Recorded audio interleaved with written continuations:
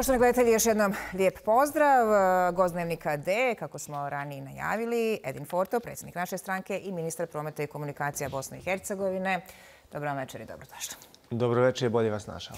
Gospodine Forto, visoki predstavnik Kristijan Šmit današnjom je odlukom odblokirao proces e, imenovanja vlade federacije. Je li ovo odluka e, koju ste očekivali, pa možda i priželjkivali?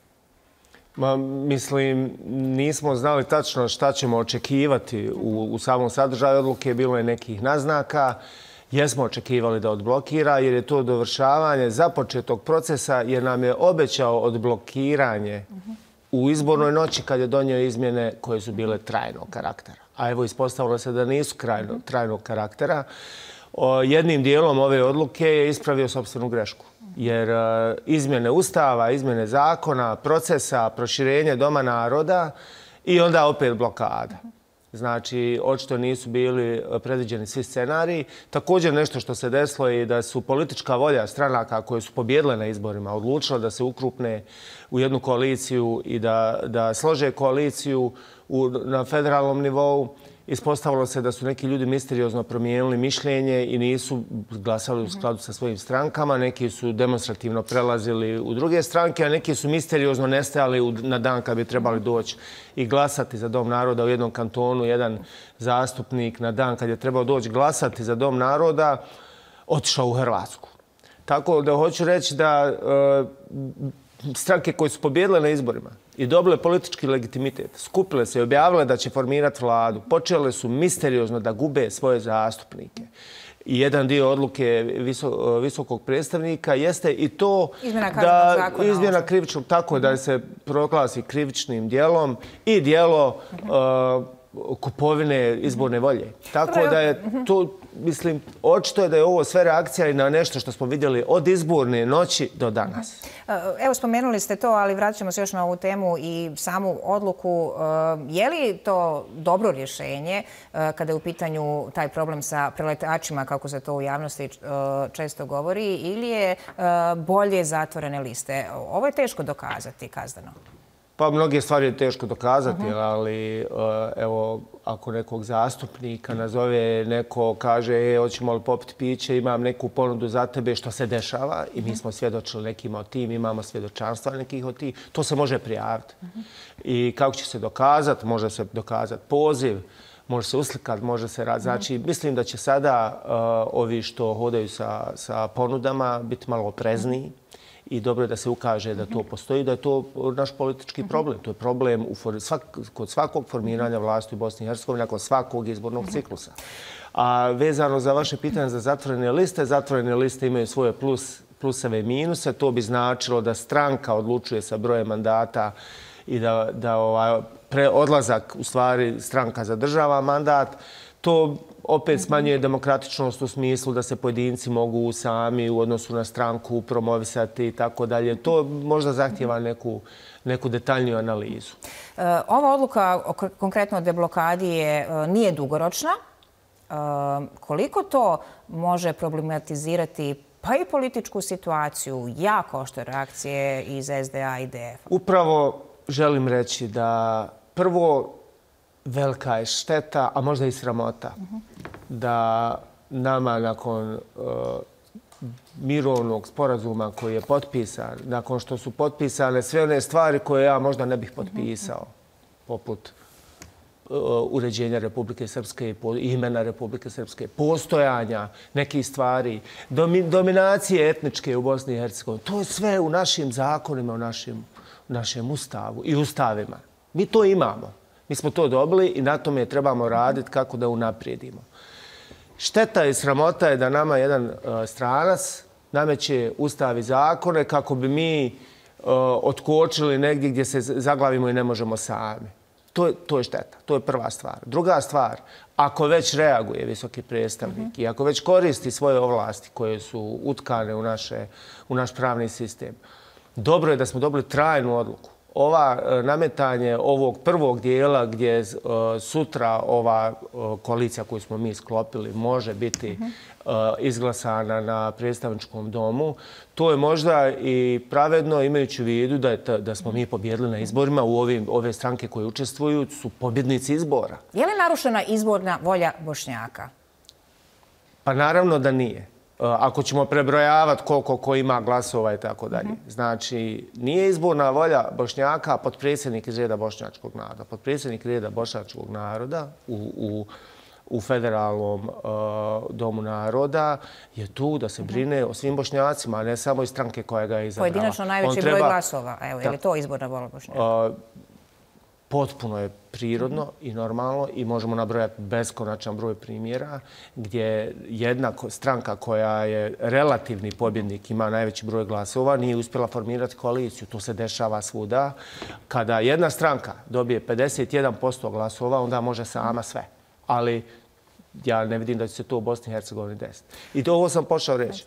Drugi dio odluke koji je trajnog karaktera, gdje se uvodi institut vanrednih izbora, Eh, gdje više niko ne može blokirati. Da, da smo imali ovo eh, prije, i to je ovaj trajni dio rješenja, zato me raduje da je upravo nametnuto trajno rješenje, eh, ne bi možda imali još pet godina vladavine vlade Fadla Novalča, koliko god se neko slagao ili ne slagao, možda bi on dobio legitimitet na vanrednim izborima ponovo i možda bi opet bio premijer, ali ne u tehničkom mandatu pet godina što je potpuno nenormalno u jednoj demokratskoj državi. Znači, ovo, ovaj dio rješenja sa vanrednim izborima je možda i najbolji dio ovo, ove odluke.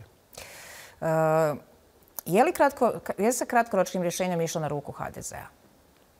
Uh, kratkoročnim rješenjem se išlo na ruku koalicije koja je mhm. pobjedila na izborima i pokušala formirati vladu, ali nije uspjela mhm. zbog mogućnosti blokade jednog čovjeka. Za sutra je zakazana, odnosno treba biti zakazana sjednica zastupničkog doma. E sad, jedno pojašnjenje. Dakle, odlukom visokog predstavnika zaobiđeno je e, suglasje rukovodstva federacije, odnosno predsjednice i do predsjednika federacije. E, može li se desiti da sutra e, tom logikom SDA ili gospodin Lendo u parlament dođe sa prijedlogom vlade iza koje stoje SDA i njihove koalicione stranke, odnosno partneri? To je sad tehničko pitanje. E, nisam detaljno išao mhm. član po član, jer danas je bio stvarno veliki broj obaveza e, vezano za, za, i za ovo o čemu govorimo oko ove koalicije. Ali ako se ne varam, a ispravite me ako griješim, u dijelu odluke koji govori o tome da se zakazuje sjednica Uh, visoki predstavnik se pozvao na konkretan akt kojim je e, predsjednica i jedan od dopredsjedavajućih federacije, gospodin Stojanović, koji su dostavili vladu koju je e, gospođa Bradara imenovala i Stojanović potpisao. Ako se poziva direktno na taj akt da je to jedina tačka dnevnog reda, onda mislim da ne postoji ta mogućnost. Ipak prioritet je, kako je rekao, 50 ruku. Je li tako? Ko ima 50 ruku, U jednoj demokratskoj državi to je jedino što je bitno, to je da imate nadpolovičnu većinu tamo gdje, se, gdje su izabrani zastupnici koje su ljudi birali, koji su građani izabrali. Hoćete li sutra imati 50 ruku? Nekako su se promjene i unutar vaše koalicije desile preko noći i partnera i sastava vlade federacije, odnosno prijedloga sastava vlade. Koliko je to sigurno. Djeluje onako na brzinu. Način na koji je skopljena, mhm. kao što je i prethodna prije nego što su uh, dvije stranke odlučile da napuste, da bez obzira na kakva će biti odluka i da li će biti da mhm. ne žele uh, s nama formirati ovu vladu, nakon više mjesečnih pregovora i nakon svega što smo pristali, što smo se mhm. dogovorili, uh, ovaj pregovarački period je kraće trajao, ali ovaj dogovor koji imamo i koji smo danas uputili u proceduru, uh, postoji politička volja i postoji nadpolovična većina. E sad je ovo ono pitanje koje, koje treba uh, da se, da, evo, da se svi zapitamo. Mi znamo da postoji. I evo sad se svi pitamo hoće li biti. Ja mislim da će biti. Mogu li se preko noći ponovno desiti neki preletači, promjene dresova i sl.? Ne očekujem, a iskreno nadam se da neće i ne očekujem. Gospodine uh, Forto, Šta je stvarni razlog zašto su Nesi stranka za BiH odlučili napustiti koaliciju? Puno se toga špekuliralo, svaki ima za javnost neke svoje razloge. Koji su stvarni razlozi? Evo, prvo da vam kažem, mi smo pregovarali više mjeseci. I hoću vam reći, i ovo iskreno mislim, e, te dvije stranke i njihovi lider su odlični pregovarači, što je dobro i normalno. E, I ono što ja mislim da se desilo je da sve oko čega smo pregovarali smo dogovorili. I rukovali se. Šta se desilo umeđu vremenu, ne znam, ali reći ću vam šta nije razlog. Nije razlog da oni vole Bosnu i Hercegovinu više nego mi. To nije razlog. A šta je drugi razlog, morat ćete pitati njih. Jesu li tražili nešto više, nešto što im niste mogli ne, sve, dati? Znači, dogovor oko mhm. resora, odgovornosti, svega je postignut. Tu nema nikakve dileme, to su i oni rekli, rukovali smo se na to. Zašto su se oni predomislili, ne znam, ali znam zašto nisu. Mhm. Zašto nisu? Nisu zato što vole Bosnu i Hercegovinu više od nas. Jedno od rješenja koje se promijenilo preko noći je mm, ministarska pozicija za gospodina Ramu Isaka, je li tako? On je nekako izjavio u medijima da je on za tu svoju poziciju u novoj vladi saznao iz medija. Pomalo to neozbiljno djeluje, gospodine Forto. Šta je u stvari istina? Je li još uvijek kalkulira? Jeste li vi sigurni u gospodina Isaka ili je nešto treće? Ne mogu to komentarisati, mhm. način komunikacije i kako je on to saopštio. Po svemu što znam, oni su dio, gospodin mhm. Isak iz federalnog parlamenta je dio parlamentarne nove većine i gospodin Ramo Isak je kandidat za ministra MUPA. Ozbiljan kandidat neozbiljno je dijelo komentar da je za to čuo iz medija. Eto, zato pitam. Ne mogu reći je li ozbiljan, neozbiljan, on je kandidat. Ali nisam ni vidio mhm. tu reakciju, evo sad je čujem od vas, tako da ne mogu dalje komentarisati. Dobro. E, kako komentarišete, e, da pričamo na državnu razinu, ono što e, u posljednje vrijeme govori, načina koji govori vaš koalicioni partner, gospodin Milorad Dodik, predsjednik entiteta, ono što je urađeno jučer u Narodnoj skupštini Republike Srpske? Šta to predstavlja vam? Pazite, retorika koju gospodin Dodik uh, koju demonstrira u proteklih par mjeseci nije ono uh, na što smo mi računali, što smo se dogovorili. Naravno, uvijek postoji nešto što ćemo reći da, da, je, ovaj, da očekivanja nisu ispunjena i tako dalje. Ja bih na njegovom mjestu sve radio drugčije. Međutim, ono što je naš zadatak i to je ono što smo obećali svojim glasačima i građanima koji, mhm. koji su nas izabrali, je da vijeće ministara bude funkcionalno, da državni nivo bude funkcionalan. To je još uvijek, možemo reći da je tačno, vijeća ministara, sjednice se događaju, budžet je usvojen, razgovara se o velikom broju projekata, pripremaju se zakoni, to me svjedočim i kao mhm, ministar u mhm. vijeću ministara. Nadam se da će tako ostati.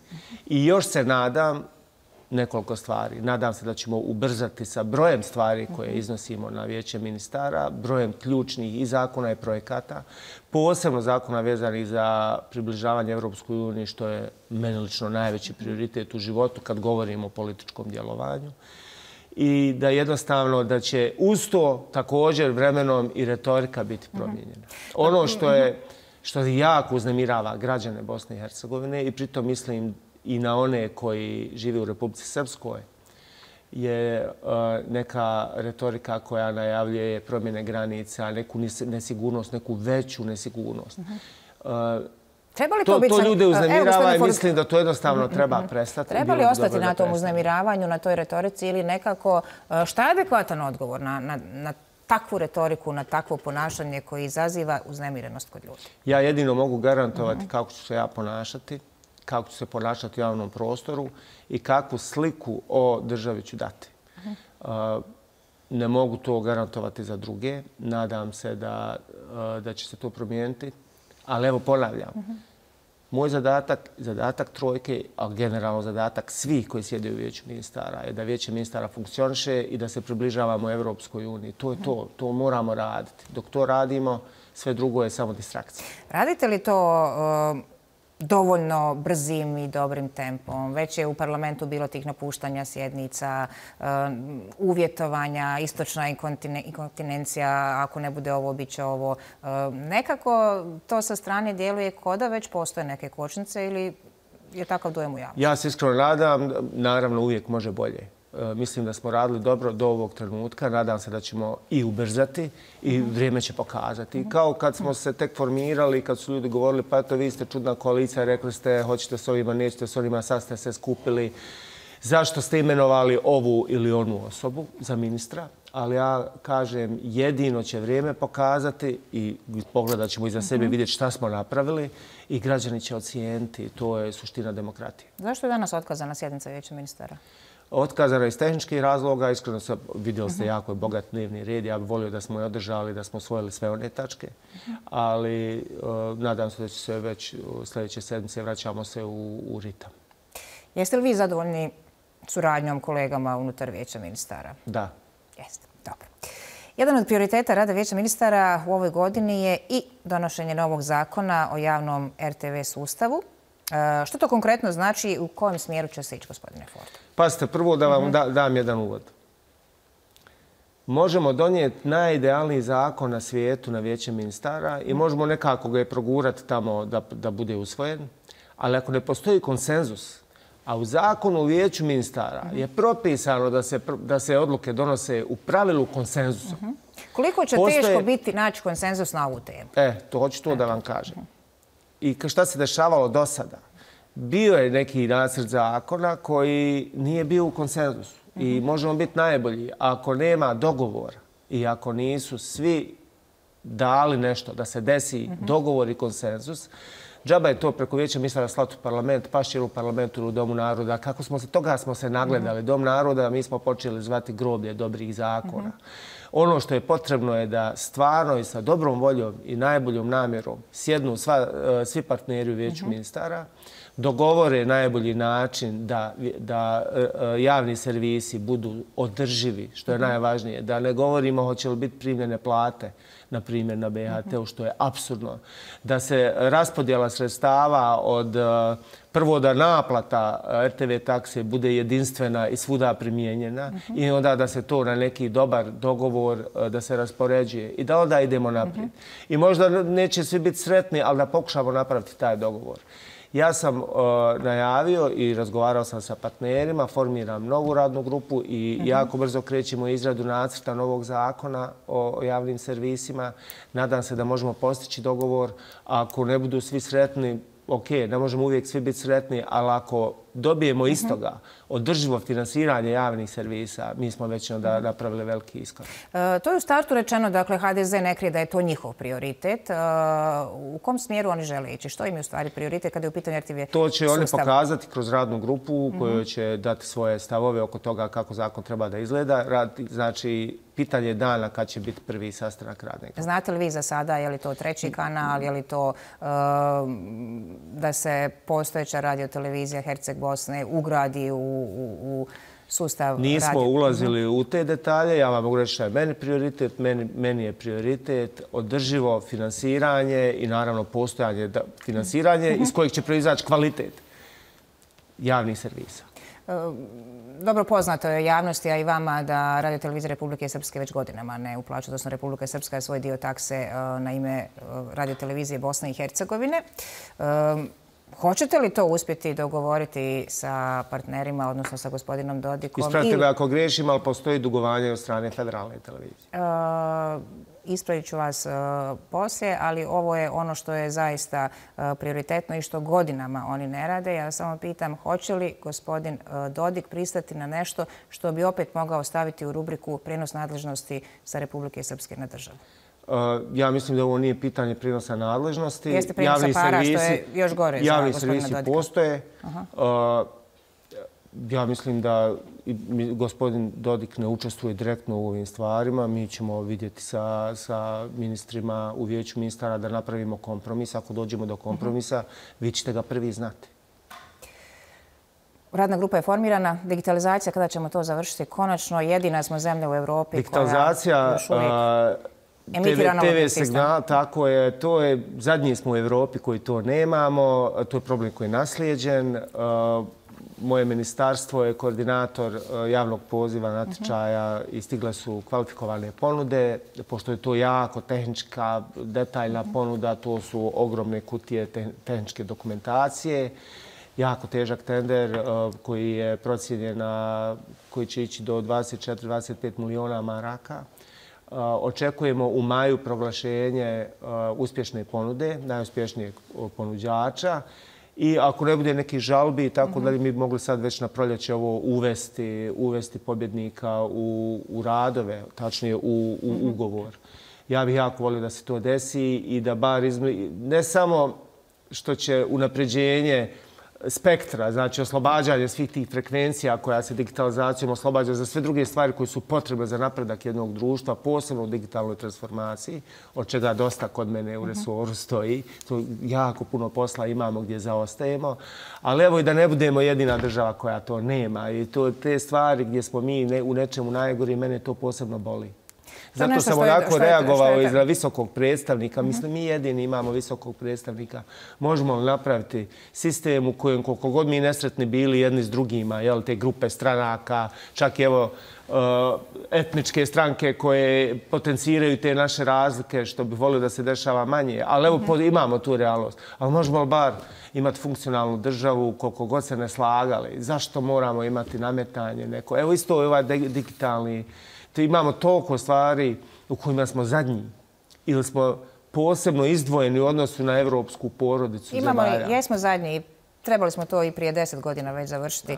Možete li nam dati konkretno, evo, do kada bi taj proces konačno treba biti završen? Proces digitalizacije, pošto je jako tehnički, uh mhm. -huh. tehnički ovaj, zahtjevan proces, ja po nekim procjenama mislim da bi on trebao trajati 12 do 18 mjeseci od uvođenja u, u, u radove. Uh mhm. -huh. E, kratko za kraj, evo nekako smo i pri kraju s vremenom, možda ga više i nemamo, ali moramo spomenuti infrastrukturu, dakle međudržavne projekte. E, ima li nešto važno što, što će nam se desiti e, kada govorimo na tu temu? Nekako je stala ona priča brza cesta Sarajevo-Beograd. Prvo, obsesija mhm. autocestama, cestama i generalno ovisnost automobilima nije nešto što, što je moja politika ali osnovna infrastruktura je naravno bitna. Koridor 5C kao međunarodni koridor koji prima i bespovratna sredstva jer je međunarodni koridor usvojen u dokumentima Evropske unije i kao takav prima dodatna finansiranja, naravno da je potreban. I sve ono što je već ucrtano u te naše mreže, takozvane TNT mreže e, ili TENT mreže. Ali ono što bih ja volio da se naradi u narodnom periodu, ako smo već sad naučili graditi autoceste i u Republici Srpskoj i u Federaciji Bosne i Hercegovine, mislim da je vrijeme da ubrzamo i pojačamo projekte modernizacije naših željeznica, bilo da se radi o putničkom e, transportu, urbanom putničkom transportu, metro transportu, na primjer oko gradova Sarajeva, Zenice, Tuzle, ali i roba. Tako da, evo, na primjer, dok sam, kad sam bio u Srbiji, u vladi Srbije, eh, ministar koji je ministar uh, transporta, gospodin Vesić je rekao da je jako zainteresiran da zajedno apliciramo kod Evropske unije za bespovratna sredstva i lagano finansiranje sa dobrim dijelom granta bespovratnog, da moderniziramo prugu koja bi išla Banja Luka, Doboj, Tuzla, Zvornik i onda dalje u Srbiju i da na taj način pokažemo kako su to projekti budućnosti, mhm. jer oni jesu projekti budućnosti. Elektrifikacija, modernizacija, da ti vozovi idu minimalno 120 na sat i da se i na taj način pokušamo približiti onome što Evropa uveliko radi. I to ne samo Evropska unija, Srbija to već uveliko radi. Ali onda modernizirati i prema Evropi. Isti pravac. Naravno. Gospodine Forto, hvala vam lijepo uh, što ste bili gost Dnevnika D. Hvala vam. Molim lijepo. Poštovani gledatelji, gost Dnevnika 9 Večeras je bio predsjednik naše stranke i ministar prometa i komunikacija Bosne i Hercegovine, gospodin Edin Forto. Ne minajte kanal, ostanite uz program Federalne televizije. Doviđenja.